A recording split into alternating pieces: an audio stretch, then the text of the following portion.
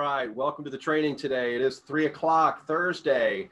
We are moving through this book, folks. As I've got done reading this week, it looks like we're over half, either over or right at halfway done.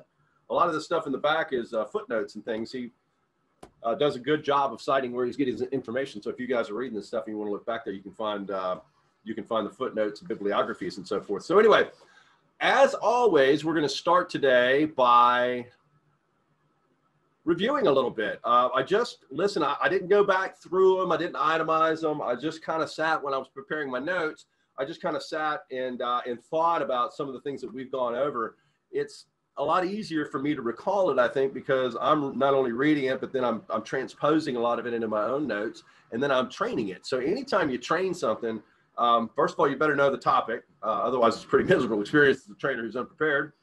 Uh, but second of all, you learn it even more and more and more, and you instill it more and more and more. So uh, again, I've said over, you know, I'm doing this certainly uh, to help our organization, help you guys, uh, help my staff. They're all plugged into this and, and engaged with me, and we want to connect more with you and, and among each other. So as we're going through this, uh, I, I, I think when I was younger, Leandro, it mattered how many people were in the room. Mm-hmm.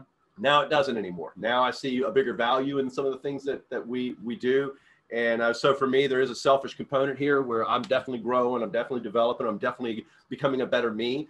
Uh, somebody asked me today, I've, I've got a, a, friend of mine that I've known for a long time, Michael, who uh, through Facebook said something like, You're on fire or something because I put a quote out. And I told him, I said, I just forgot what got me to the dance. You know what I mean? I mean, this is why, this is how I got here is by doing this stuff. And then, you know, when the fruit's ripe and, and plentiful and low hanging, sometimes we stop working as hard as we did. So I'm very grateful for this time. Let's do a little review. First and foremost, I always go back to the number one thing you got to have a big why. You have to have a reason that you're doing things, and it can't be for title, it can't be just money. Money is paper thin. What money does for us has depth, right?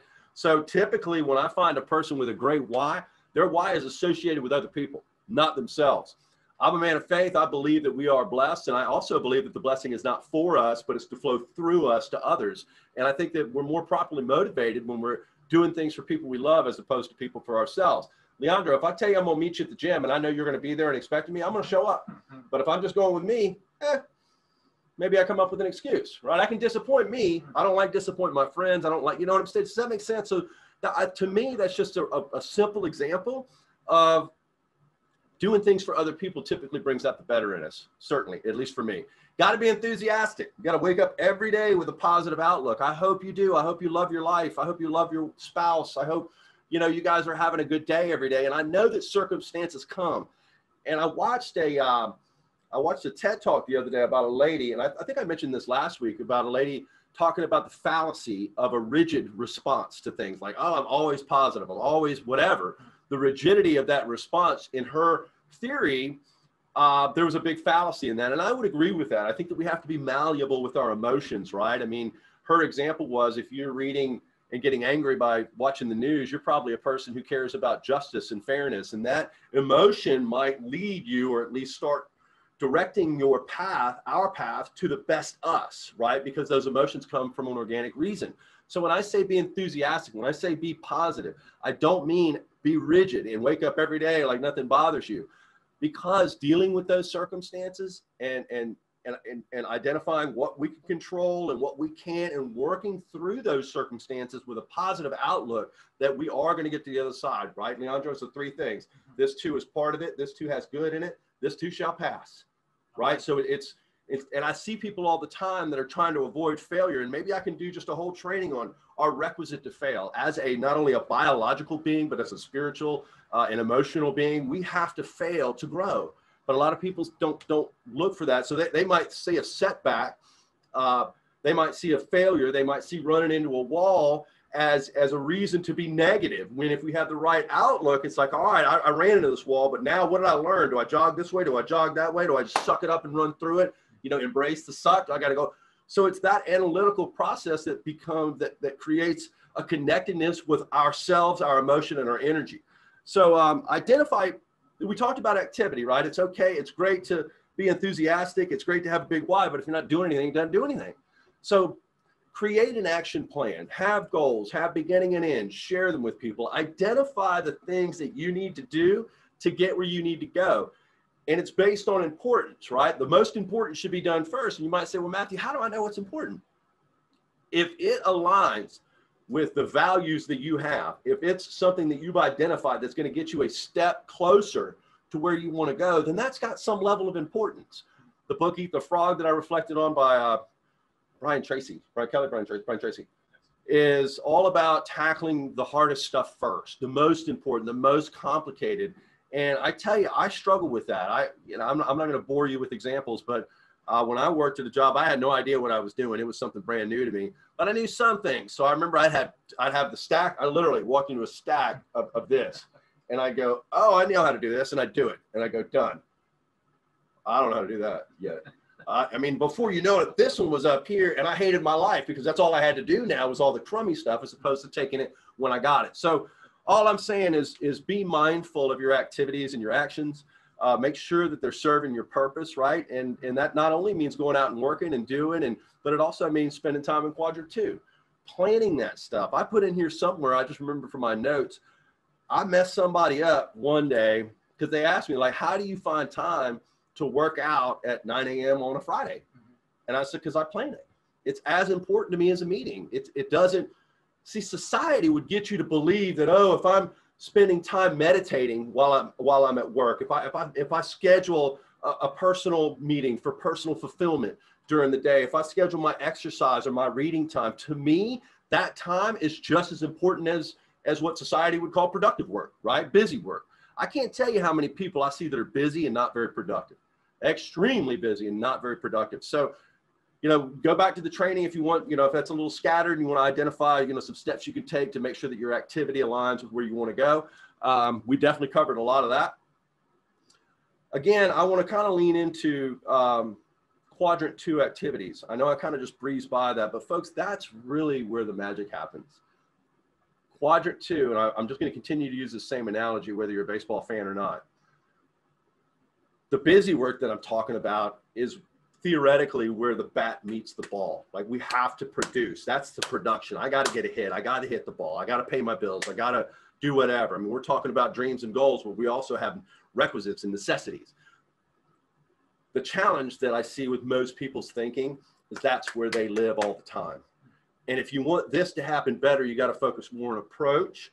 And that's that quadrant two, folks. If you're not spending time in intentionally taking care of yourself, building relationships, planning, meditating, exercising, reading, associating with, with people that you believe that you respect and, and that maybe, you know, if, if you got a 10 year marriage and, and you got a 25 year marriage guy you want to hang out with, like, I, I want to know, you know, what, what is the secret to making it a quarter of a century with a spouse, right? Get around people that have what you have or where you, where you want to go that association is powerful. Building those relationships is powerful. That's all quadrant two stuff, man. You start quadrant two is a lot like water. when you start drinking water, it feels like you're kind of forcing it. And then over time, you're like, oh, I can't get enough. I can't get enough. That's quadrant two. And I would tell you, there's a tipping point too, Leandro. I've seen a lot of very developed people really broke because they spend too much time in quadrant two. They're not hitting the ball. They're not getting results, right? We talk a lot in theory and it, the theory becomes reality. But at the end of the day, we got to get results, guys and gals. And I, I, I say that kind of with a cynicism just because of my experience. I can't believe how some people won't move. They just won't move. And it's like, you got to move. You got to go. You can't just sit and, and meditate and learn. You have to go out and practice it and go out. And, you know, typically, Leandro, why they didn't want to do it is because they were, they were scared to fail.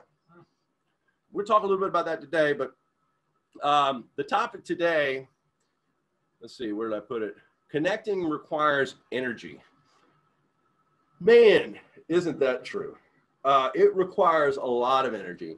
And he says in this book, and I'm going to tell you, we may, I, I say this every time, probably ain't going to go an hour, then we go an hour. Um, he says in the book that it requires more energy with bigger groups. And I would completely agree with that. You guys know I've spoken to thousands of people I think I've told you before, my favorite is more that 20 to 30 in a room, 15 to 25. And I recognize when I read this book the first time, I actually wrote notes in it. I recognize the reason I like that is because I have the ability to connect better, more effectively, and in, in, a, in a deeper way with a smaller group. Like we did something at church once where I did like a five week thing. And I made it a point while people were coming in to introduce myself to those church members that I maybe recognized but didn't know. And he does mention that. And I didn't know that I got it from this book, but I don't think I would have come up with that on my own, Leandro. So I think it was like a subconscious thing from this book mm-hmm. that I really want to connect with people. And like I said, when I was younger, insecurity and ego, like ego, I got an acronym for ego. This is not my notes, just ego. You're going to love this one edging God out. Ego ego, when someone has an ego, first of all, pardon my French, but the old saying is ego's a bitch. And she is. But most of the time, when someone's got an inflated ego, it's really a facade for a miserably low self worth. And that's the sad part. So I think a lot of times people come up in contact with a brash or arrogant or egotistical person, and it, it can be frustrating. But then if you really understand where that's coming from, more times than not, it's kind of sad. It just probably means that they're they're throwing something up because they don't like what's behind that. Mm-hmm. If that makes sense. So when I was younger, I had a lower self worth, and I really was all about oh, I just want to speak. I just you know I just want to hone the craft. I just want to. It was self driven, and then I think you know some years ago it started really. I, I understood that it's more about what is heard in the connection that I make with people, and if I can't connect with you, you're not going to listen to me, right? So it is what it is. So topic this requires like what I'm doing, I was telling Leandro, like this is a is a way to connect with you guys, and it's certainly a way to connect with my staff at a different level, and even my wife at a different level, myself at a different level. Man, this takes a ton of energy. Speaking of energy, and I don't think you can get behind me, but I don't think we turned the ACs down. We did. Did we? Man, there's so many lights. It's hot. takes a lot of energy. Um, all right. So the first thing is, it's just that old adage. Well, you get out of it what you put into it. Certainly true with connecting the more intentional, the more energy you put towards it, the more uh, uh, dedication you put to connecting with people. And, and we'll go through some ways. It's pretty easy to, to put ourselves on the right side of human condition, right? We talked about that a couple weeks ago. It's like my analogy is like if I'm standing in front of, a, I see people do this. Like theoretically, they stand in front of a fireplace and they say, "Damn it, give me some fire!" Like you see, I, I just I want fire, and the fireplace looking up saying, "Dude, you got to give me some wood." and like we got to put the wood in first before we get the, the heat from the activity. So when I say it requires a lot of energy, that's if we're willing to put forth that energy. We get what we put into it. The more energy you put into it, the more you're going to have a connectedness, the more people you're going to have to connect with. And really, when it comes down to it, and we're going to get into it, connecting is really just a mechanism or the road or the pathway to adding value to people. Like I said, when we're blessed, man, it's, it's not for us. Yes, do we get the blessing? Woo, Amen. But it's meant to flow through us. So when we're connecting with people, when we're you know trying to influence people, we're trying to influence them to solve their problems with remember I said everybody everybody wants their problem solved. So if you can show them everybody wants to go somewhere or if you can show them how to get there, then you're adding value to their life. And that's why it matters to put forth the energy. The, the first thing I put down, remember people's names. I can't so few people, and I'm getting worse at it as I get older. I'm actually, I, I wasn't good at it in the beginning. And remember, I told you John Maxwell actually blew my mind out when he said that creativity can be developed. And he was right. When people say, I don't remember people's names, it, it's almost like somebody saying, I didn't have time to call you. I mean, listen, I'm not being cynical. I don't live my life like that. But honestly, I had time to call. I just, you weren't important enough. I had other things that apparently I got 24 hours a day. I got plenty of time to burn a two minute phone call. But for whatever reason, yours that, that didn't make my important list that day. So when someone says that they can't remember someone's name, it really means that just, it's just not that important to them. This is not that hard. What I do is I use it. So it's like, hey, my name's Matthew. My name's Leandro. Hey, Leandro, how are you doing today? Man, it's nice to meet you. Leandro, very good to meet you. We'll talk to you. You know, and I want to use it two or three times if I can without seeming weird, just so I ensconce it into my brain. It matters. Uh, Zig Ziglar would tell you that the person's name is the sweetest sound to anyone's ear. I, my kids would tell you I'm the best at name tags. Man, I go to Publix, I thank that person, and I use their name. Do you know that that could have a value-adding effect on that person? Just, just being, just taking the time to call somebody by their name instead of ma'am or not at all. Make people feel special.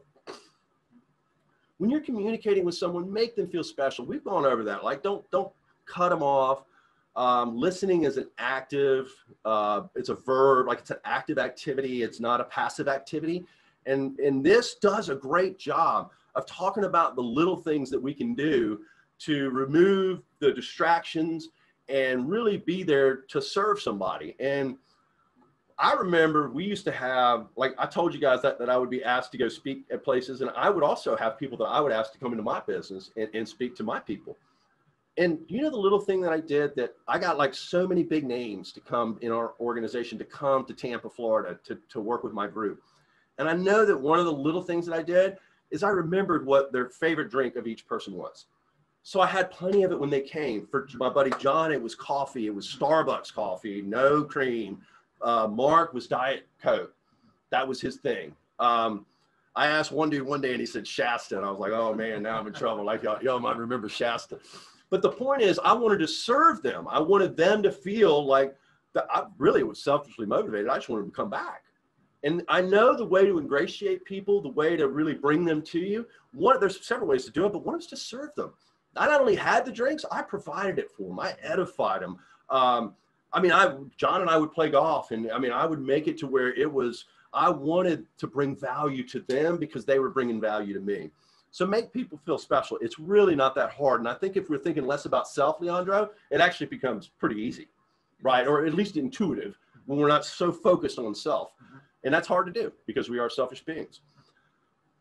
Be present and patient when you're with someone. I say so often, you guys will hear it over and over and over again wisdom is counterintuitive. Typically, the societal norms are not great norms for me and my value set. I'm not better or worse. I'm not, it's not, a, it's not a higher or lower thing. It is an absolute difference, right? Because we live in a microwave society. We want everything to happen fast. We're thinking about this. How many times have you been talking to somebody and, and they're, and they they're looking at their phone. Guys, there's no way to connect. I mean, John would tell you that if you got someone in your office, don't have a desk between you. Remove physical barriers. So if you're trying to connect with somebody and you're trying to add value and, and you're trying to get where you want to go, right? You're, you're trying to serve people and then you, you know, you're looking down. We have to think about these things. This is culture. Putting this away. Do you know how many people get frustrated with me because they tell me they text me on a Friday and I don't text them back until Sunday night? You know why? because I haven't picked up the phone all weekend. And it's like nobody ever considers that, oh, he doesn't have Facebook messengers, you know, popping out like notifications. I don't have any notifications on my phone. I literally don't. When I want to see something, I go take a look at, well, no, the, my email I do because that's work and I need to, but in my text. But other than that, I don't have Facebook Messenger. I don't have any other notifications come up because when I'm when I'm with my family and when I'm in my downtime, even here, everybody. I mean, I told Todd yesterday, I was like, you call, I played golf yesterday. Remember I had my 30 day and I, I, I wasn't going to play golf during the week for 30 days. I, mean, I was ready to play golf. I didn't play golf at all, actually, Leandro. Like that wasn't the goal. But for whatever reason, man, I was just focused on other things. And I told Todd, I said, you call me, tomorrow, call me today, man, because we're, we're working on something. And he goes, man, I'm going to try not to because he knows that that's valuable for me. That's quadrant two time. Now I can't do that five times a week. That then it wouldn't be quadrant two. But I'm building out. I'm out there typically playing with a, a you know a host of buddies, and it's usually the different ones and you know the guys i play with in the middle i play with the middle and the sunday i play with certain guys it's relationship building it's time for me to rejuvenate and refresh myself and we're going to talk about that you know when you're really uh, trying to connect and, and you're engaged in 30 day goals and you're intentional i think about it like you know if this was it is completely full every time we serve somebody we're, and we're intentional we're spending energy trying to connect with people we're pouring some of ourselves out sooner or later this becomes empty and it's got to be refilled. And that's where the development comes in. Like I talked about the law of the lid, right? I mean, there's a lot of reasons that we can come up with that are not selfish, why we should keep developing ourselves. If nothing more, it creates headroom for those, you know, parents. I hope every parent is constantly developing themselves in some way, shape, or form because if you don't, you're creating a lid for your kids. And what happens over time is a winner's going to find a way to win. So sooner or later, they just go, you know what? And they find another leader to follow. They find another person that can influence them. And it no longer becomes us because we don't have anything to give anymore. So if you really want to bring value to people, you have to continue to develop, to, to develop yourself. And we also have to continue to make sure that that quadrant two activity is really, really important. I remember talking to Catherine once about, and she's on being a doctor. And um, we were talking about her studying, and we were talking about the intention with which we do things really has an impact on the energy with which we do it. So if my daughter's studying for a grade, right, a grade to me is like a, a dollar. It's like it's flat. It doesn't. It you know you need it. Don't get me wrong, but there's no deep intrinsic self gratifying. It does feel good to get the A. There's that satisfaction, but I said change the way you're thinking. Think now because her big thing is that she cannot wait to you know, just help people and be with. She wants to be in physical, uh, get her doctorate in physical therapy, and she right now kind of has her eye on you know children that have physical difficulties and need to be trained how to you know to do things like walk and things like that. Really, really amazing why, big why. So she's got this big why. So now I'm like, wait a minute. What if you studied it for every subject knowing that the better you did and the more you learned, the more value you're going to be able to give your patients when you get there and it's like you could see it. It was like, oh, oh, yes. I'm not just trying to get through this school. I'm trying to learn and grow and develop as much as I can and be as as intentional as I can. And I don't mean study all the time. She knows, being my daughter, that quadrant two activities are immensely important. And she's very spiritual. And that, you know, if you have a person of faith, when you're engaged in your faith, that's obviously quadrant two time. Okay anything going on there, man, I've been going on for like 20 minutes. Guys, I can go and go and go. It's easy to do an hour. It's hard to do 10 minutes. Mark Twain said uh, he got, a, you know, before he became a, a, great novelist, he honed his skills writing uh, monthly stories for a publication, a monthly publication. And it's almost like now like a, like a series, right? It was kind of, a, it, it continued on, it, it was linked. And the story goes once the editor got in touch with Mark Twain and he said, I need a, I need a page in 24 hours. And Mark Twain says, I can give you 24 pages in a day. I need 24 days for one page. Right? It's hard to, to it's easy to ramble on. So I want to hold off and see if we have anything. Um, Ellie, I cannot pronounce her last name. Don't butcher it. Don't try. But um, she plays a new acronym to Ego called Earth Guided Only. Ooh, yes. Thank you. Because that gives that it gives a sec, different perspective, but the same. What Earth? So I was edging God out was the acronym for ego. Mm-hmm. And then what's the first name again? Ellie.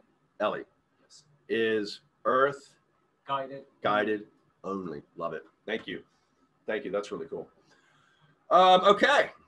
Let me see where we're at here. Everyone is so thankful for being part of this and so eager. a lot of good positive energy. Yes. So it fills you up, yes. right? That's so you're you're sacrificing, serving me in our group, and for that you're getting energized, right? It's just it's man, it's a cycle. It's a cycle. Um, guys, I think you guys know I, I I share my weaknesses with you a lot. I talk about when I was immature. I talk about you know my life and how I almost screwed it all up, and I I don't. I think when I again, if ego's here you know, extolling weaknesses is probably not going to happen. You have to have a self confidence. You have to be able to laugh at yourself. You have to be able to not take yourself too seriously. And I do know that a lot of people operate mentally in their life, and it, it, it for me too. Like it's something that I have to be intentional to not do. And I, the measuring, it's like we're always. I, I can get into a place where I'm always my perspective is where did I miss? like some people with their relationship with God, that's the way they see it. It's like, where did I miss him? Why, why am I falling short? And, and I think that there's t- a time for that. But I also think that there's a time for us to really take stock in what we what we are grateful for and what we have pr- produced in our life and the positives of some of the things that we've done. Certainly, if we have kids, it becomes pretty easy. All you look at your kid, go, man, yay, I did that. That's the easiest thing in the world. Man, it's a lot easier for parents and a lot of these things to to get the picture right there with their children. I was taught this a long time ago by that guy John that I mentioned earlier. He was one of my mentors, and he he said that the three things there's three, and I think I've shared these before. There's three things that will repel people from you, and conversely, there's three things that will attract people to you. The repelling is low energy, gossip, and negative. For those of you who let, let's identify gossip. Gossip is saying something badly about someone else when they're not there. That's as simple as got the definition. There's no, it's not complicated. Conversely, those attraction factors are positive slash thankful people, encouraging people, and high energy people. Those are all, I mean, of course, there's more, there's less, but John kind of whittled them down to three, and I've always lived by that. And I want you to know that that's absolutely true. Um, so please, please, please, it's hard too, because especially if you're among peers or if you're in a workplace or something, and somebody comes up, sometimes you just find yourself in the middle of it. Um, when I have done it right, and I have done this a few times, I've actually excused myself in those situations. And typically it's when I'm developing myself, when I'm aware of my surroundings, I'm intentional about the things that I'm trying to achieve, those things become more readily evident to me right away, Leandro. And it's like, I don't want to be a part of it. Like, I got something good going here. Don't mess me up. Right. Which is why I don't watch the news. Um, we're going to get into that a little bit later about guarding your energy. All right, so I have a note here to cover page 77. So for those of you who have a, a copy of the book, I didn't actually write this down, but I did. Um, I did really, really like this. Um, I'm just going to be uh, read a few things, and these are people that mingle well, people that can can you know um, start the, the building blocks of relationships and begin connecting with people have these traits, right? And I love this page. It's page 77. I'm just going to read a few, but man, go through them all. Possess the, uh, the ability to make others feel comfortable. You know anybody that makes you feel uncomfortable all the time? They're fidgety, they're just whatever. Re- try to find ways to make people feel comfortable. And I'll tell you how you find, you know, people feel more comfortable when they hear their name. Few People feel more comfortable when they receive an honest compliment, right? So appear to be confident and at ease. Have the ability to laugh at yourself. Show interest in others. Maintain, maintain eye contact. Uh, ask questions. Actively listen extend themselves to others. They lean into greeting with firm handshakes and smiles. They convey a sense of energy and enthusiasm. Uh, and they're well rounded, well informed, well mannered, right? If you, you got somebody who doesn't have any manners, at least for me, I mean, I grew up, I actually took cotillion when I was a kid. So I, I like, I probably know as much as Emily Post when it comes to etiquette. And it just, if I see somebody eating like this and, and, and chomping and not, I, I'm distracted, right? So convey a sense of energy and enthusiasm, um, convey respect, and genuinely like people. And I think I read that and I was like, golly, it, it seems so simple, right? Most of this stuff happens innately if you just really like people and you you really do, right? And I think it's hard because in this day and age, it's pretty easy to not like somebody, right? I mean that, and I, I hear my heart. But golly, there is so much going on right now in the world and I would say you we've got to guard our energy. And I think I, I just touched on that. I'm not even here in, in my notes, but stay away from negative people. And listen, if that negative person is someone that's it's close to you and you love and or you have to be around, draw boundaries. Because if you're on a quest to be positive in your life and to have a nice perspective on things and to be engaged in self-development and intentional about where you want to go in life and you know, like we said, start taking dominion instead of being a victim. And when we get around those people, they are a huge drain on us. Now, listen, connecting takes energy. With some people, it takes a hell of a lot more. So you got to draw boundaries. You got to find out, okay, I can't let this person completely deplete my, my glass because I know that maybe over time, and that's what I would say is keep keep planting the seeds when people that you love, right? Don't don't just because someone's negative, don't write them off. That's not what I'm saying. But find the right amount uh, of of engagement where you feel like, okay, I'm I'm at least putting myself in front of this person. I was just reflecting of a story when my kids were really young. In fact, I, I don't think James was even in school. I was dropping Catherine off at a little private school, and they had a, a pastor, young guy by the named Paul. And Paul and I liked each other. And on Tuesdays, I would stop in his office and have coffee, walking slowly through my life, right? Building relationships. He's a reader, he's a developer. We had so much in common. He's a dad. And at that time, a good friend of mine was in a nasty divorce. And I mean nasty, nasty. I didn't see he I didn't see or know of anything that happened, but I was hearing some really horrible things that my friend was doing. And it started to frustrate me. And I remember telling Paul, I said, I'm about to write him off. And Paul looked at me and goes, You don't do that. And I go, What do you mean, Paul? He said, Well, if not you, then who? Right? We, I think we always assume that there's someone else there for that person, right? But I'm now, because of that one moment, and this was in respect to Jesus, right? Because he, he's a faithful, a faith friend of mine. But he's like, if, if not you, then who? So please, if so, when I say stay away from negative people, I don't mean you're negative, get out of my life. That would be even that would be more negative than they're negative, right? But you got to draw that boundary. And listen, social media is great. Leandro and I were talking about it. We use it to connect with customers, to, to you know, engage and, and hopefully receive engagement. It's a wonderful quadrant two activity, right? It's We're not asking for money. It's not a handover. You know, it, it's it's an investment into the relationship that we have with our customers because that's the only way we have it is through these mechanisms for most of them. So it's a very positive thing. But I also know that social media can be very negative.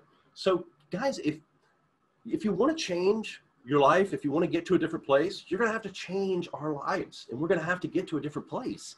And being, I'm telling you, there's no, it's hard to offer value to people when you're barraged with negative. And I'm not saying put a bubble, but I'm saying again, if there's an opportunity here for you to make connections and you got to deal with some negative to get through that, do so, but do so on your terms. Don't let it grab a hold of you and take your dominion, right? Well, this whole world sucks. I social media this, so, then stop, right? I, and I know I'm seeming passionate right now because it seems so easy. I, I would not, and this is, we're in the nest, right? Are we in, we're in the nest. We are. I would not, this is, I wouldn't say this in, in the open Facebook, but I wouldn't watch uh, mainstream news media. I, and y'all have no idea whether I'm right or left. It don't matter.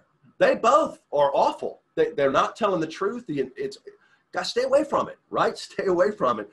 And the more you stay away from it, the more you see the impact it has on people that are in it, right? So if, if, if you know, that oh, doesn't impact me, get out of it for 30 days. Tell me, and then tell, you, tell me how you feel. It matters. Not for you. The blessing's not for you. It's not for me. It's to flow through us. And if we're doing nothing but putting negative into our glass, what the hell do you think we're going to pour out? Negative.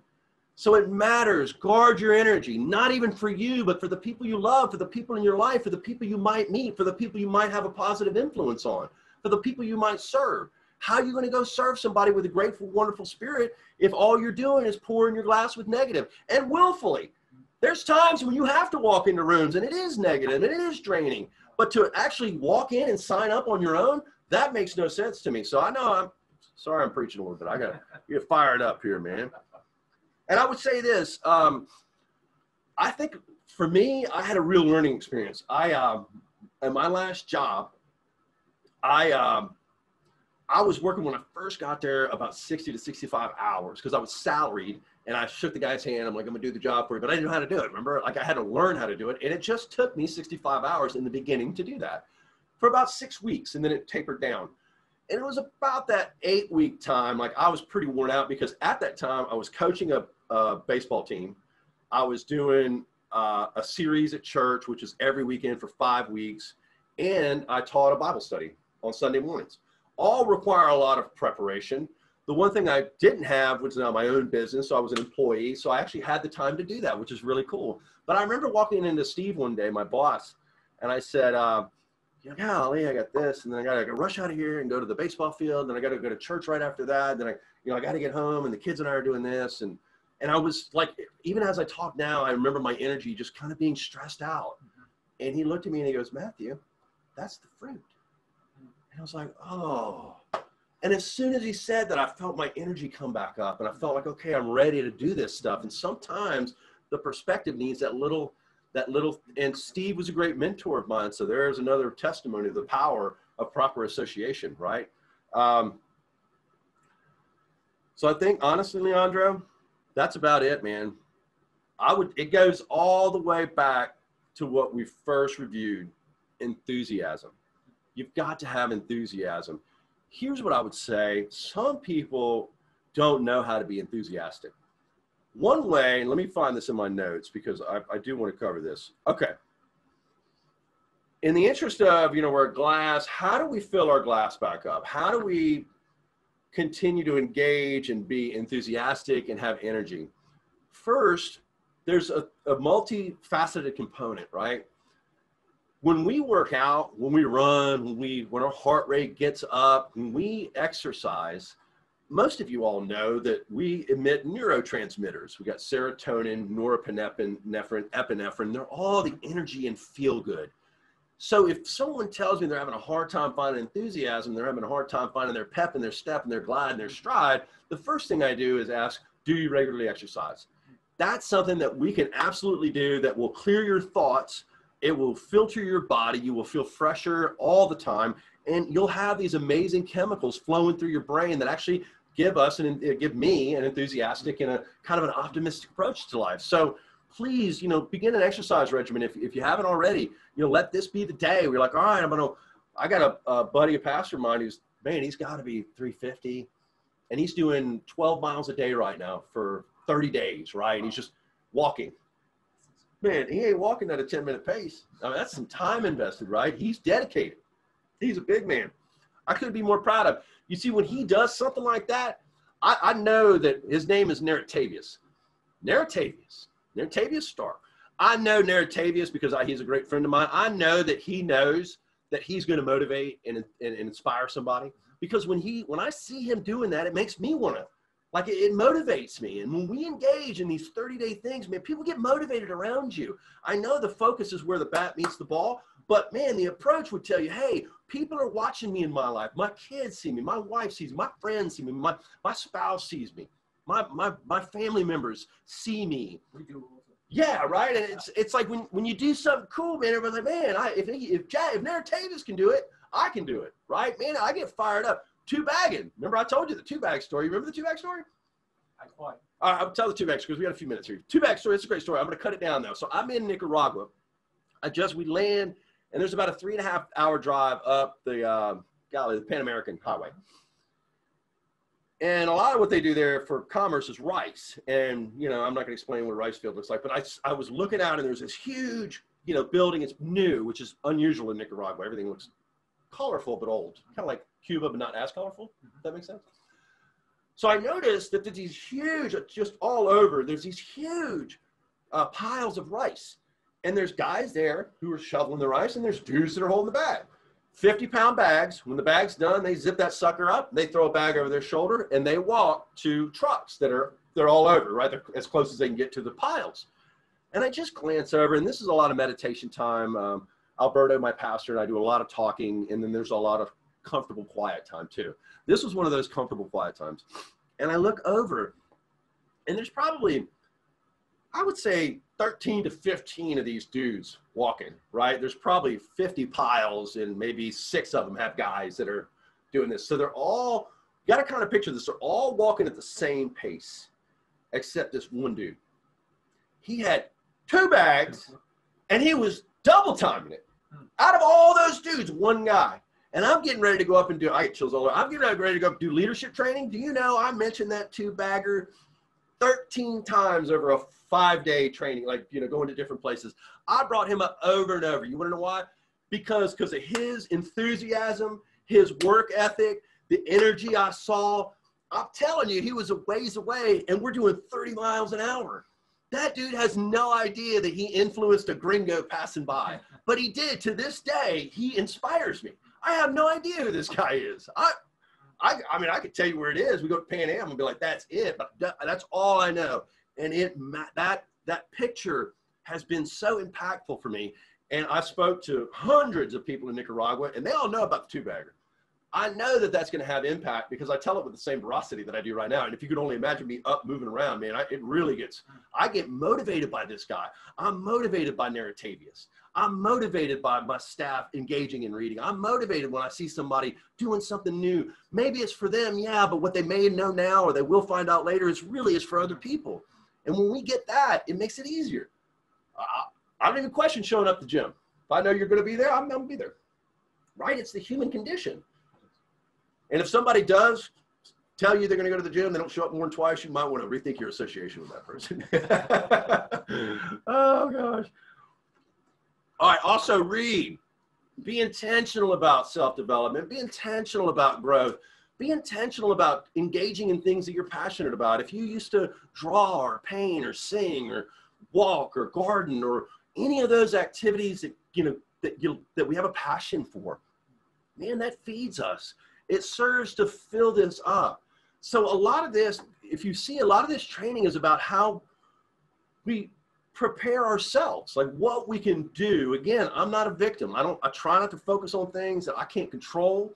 I certainly am not going to give away my dominion to some circumstance or some person. Oh, he made me do this. Unless you're eight years old, that, that's probably not a, a great thing to say, right? As an adult, somebody made me do something. So most of this is about how we protect ourselves so that we protect how much and what goes into us, not for the sake of holding it. Because sooner or later, and y'all can't see, you know, these tumblers hold ice for like 86 days. sooner or later this ice is going to melt.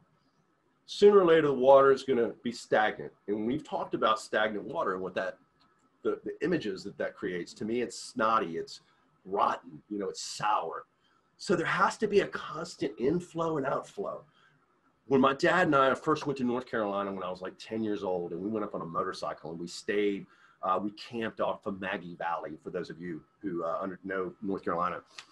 And we, every morning, he's a big coffee drinker. I didn't drink coffee back then when I was 10, but we would go to the river, the stream, and we would get the water because it is, I mean, just pure water because the stream, because it's flowing and it was so cold and refreshing and it was like the best water because it was freezing right? So it's like really almost ice cold water. In fact it probably would have froze if it wasn't moving. Moving water right? You think of a pool got to keep the water moving. The, the even the aquariums man the water's got to be moving. When we stop moving the water in our lives when we stop pouring in good so that we can add value to others, right? Remember me, being meaningful, specific into the lives of the people that we love and the lives of the people that we come in contact with. What we give them is either going to be fresh, clean, flowing water from a stream or it's going to be sour. And I know this, and we all know this because we've been around people who have the sour water. And when it gets on you, you know it. So the way to not have sour water is to be intentional, to be moving, right? To be got to be moving. The way to have really fresh, cold stuff to give, you know, meaningful stuff to give, it, it has to be moving pretty fast, right? We, it's got, it can't just be, you know, a little babbling brook. I don't know if I want to get my water out of that, but when I see a, you know, water rushing down the river, uh, I'm more likely, if that makes sense. So I, I know I'm doing a lot of cliches and analogies, probably too much for one session, but I want you to know that it takes energy. If you find yourself that at the end of the day you're exhausted, that's good that means that you did the best with the water that you had. Now make sure that you're pouring it back so that tomorrow you can go and repeat. Leandro, what you got? Ellie, she's sharing with us how she's replenishing her energy. And she's suggesting to do a Zoom fitness live twice a week. I replenish my energy by serving others as a virtual fitness instructor. It's like having a gym at the office, but virtually. Right. That's awesome. Now, Victor Christia that he, he is with us. I don't get out of bed when I wake up until I think something positive. Something takes a couple of seconds, sometimes five minutes, but I don't put my feet on the floor until then. That's how they replenish their energy. I hope you guys heard that. That's great stuff. Um, a lot of things fall into place when we're honestly thankful. Just live a thankful life. Just you know, get like you like you said, Victor, well said. You know, just be thankful that you woke up. That that may be enough for somebody. Be thankful that you are able to put your feet on the floor and get out of bed. I hang out with some people. Not everybody's like this, but you know, I hang out with a few guys. Man, they are just so grateful. One guy, one buddy of mine lives on a lake, and he'll text me early in the morning, five, six in the morning. So thankful for birds, trees, leaves. There's an God's this amazing wind, right? I mean, he's just so grateful. And I remember um, I try to live a grateful life, and, and, and certainly there's seasons where it's easier and, and, harder. But I'm in a season of being very grateful, and I had I, I had a one of my buddies gave me one of the greatest compliments anybody can give me. He goes, "You're probably the most grateful guy I've ever met." I was like, "Man, that's the best thing I've ever heard." And I'll tell you what, I'll close with this unless we have any more. I used to live, and I think I've shared the story, but I used to live on a place called Davis Islands in Tampa, and it's just it's a little island, but it's right near downtown Tampa with the high rises and uh, another island called, um, anyway. So it has a bridge that goes over. So you got Tampa Bay going out here, and Bay Shore is running along Tampa Bay, which is one of the richest, most beautiful uh, streets in all of Florida. And then on this side, you've got Tampa General Hospital and um, and the skyline, the the Tampa downtown skyline. And it's a bridge, so you're going over water. And when I was six, 17, I moved out of my house and I moved in with a roommate for a year, and then I decided I wanted to go to, to Gainesville to school. So I moved back in to my parents' house to save money, which I, and then I eventually went to Gainesville to school. When I drove over that bridge to go back home, and I my apartment was in Tampa. It's not like I left town or anything, but something hit me. It just I realized how beautiful that, and it wasn't like the sun. It wasn't an Ansel Adams moment where just everything worked out. It was just the damn bridge and it saddened me, Leandro, that I wonder how many times I rode over that bridge and didn't appreciate that beauty. And I promised myself that day, and I've thankfully, it really was a cathartic moment because it really has stuck with me that I don't want to let moments or views like that pass me by without, like I've talked a lot about, slow, slow down. You know, get a picture of the scenery around you. And all that is an analogy, and it's a true story, but it's an analogy about seeing things and being thankful for them. Because when we do that, and thank you so much, Victor, your comment is what really spurred this. When you think of something positive and you're when you're thankful, it's real easy to be positive about things. It's very easy. When we're thankful, we start understanding the things we can't control. We start limiting the the stagnant, crummy water that, that we might pour into ourselves through activities that don't align with our values, right? That aren't important. Um, that's when things start going bad. So uh, today was more about how we can manage ourselves and, and self-care for ourselves identifying the energy it's going to require to go out and connect effectively and identifying those activities that we need to engage in to again make sure that every day we leave our glass is full with cold fresh water that it's not stuff that was there from six years ago the last time you decided to read a book. Does it make sense? Yes. any errors omissions cares concerns? Um, Doll McLean, she says, we try to teach our kids gratefulness growing up and remember thinking we had success succeeded when our daughter exclaimed, Thank you, God, for eyebrows, as we were in our way to school one day. If you can thank God for eyebrows, you got the right paradigm. Because I'm sure there's a good reason behind it. I thank God for nose hairs all the time. Can you imagine all the crap you go up your nose if you didn't have nose hair? I don't know where that came in. I'm getting my glass is empty, man. I'm out of energy. I'm saying crazy stuff now. All right, you guys, thank you so much for attending. Uh, we will be doing the next two chapters. I hope you guys are reading. Hey, I've been doing this a long time, and I am a numbers guy, and I love data because it becomes pretty predictable over time. Um, I've been doing this a long time, so I know for a fact quite a few people uh, are not reading or are behind. It's okay. It, you got to start somewhere. I also know that every time I do this, there are at least usually a handful of people who let me know that it's the first time either ever or since school is what they say. First time since high school or first time since college, they actually read a book from cover to cover. So there's a sense of uh, real accomplishment that comes with just completing a book, right? Completing anything. So I hope you guys, if you're behind, no big deal. Um, you know, these things are reposted, and I have these notes that Leandro that maybe one day will turn into something. You know what I mean? From all these training sessions. But uh, I, I very much, you guys, listen. You being on here um, and I've got some great Patrice. Thank you so much for your email. Um, Ellie, for those of you who are commenting, those, when you comment and when you're participating, you know what you're doing? You're pouring right into my glass. Oh, I can get emotional. You're giving me the energy to keep going. And, and, and so you guys are part of, of how my glass gets full. And certainly Leandro and the entire staff, when we're working and we're achieving and we're, you know, claiming ground and we're gathering and we're searching and I see everybody working together and developing and growing and, and realizing we just re-interviewed everybody here to make sure that their path here still lines up with their passions and what they want to do. And, you know, I, it's kind of cool because they're like, man, that's so thoughtful. Thank you, thank you, thank you. And it's like, well, there's really a selfish thing in because if I can get everybody doing this, man, I get fired up and I get better, mm-hmm. right? And I want to go fast and I want to I want to grow as quickly as I can because I got people like Leandro, man. He's eating up that headspace fast. I got to keep going. It's kind of like my boy, man. He's got a size 12 foot. He's a beast. I can't stop working out. I mean, what if he pokes me in the chest one day? You know, right? So um, thank you so much. I, I, say all that to say thank you for those of you, and I know there's a couple of uh, I know the names here that are here every week and uh, and are communicating with me, and I just really appreciate that. That really fills me up, and, and thank you so much. All right, I think that's it, Leandro.